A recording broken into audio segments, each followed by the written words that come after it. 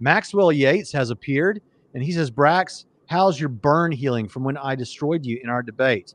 Um, well, uh, I'm not. I'm not sure I recall a time when you destroyed me in a debate, Maxwell. So you'll have to remind me of that at some point.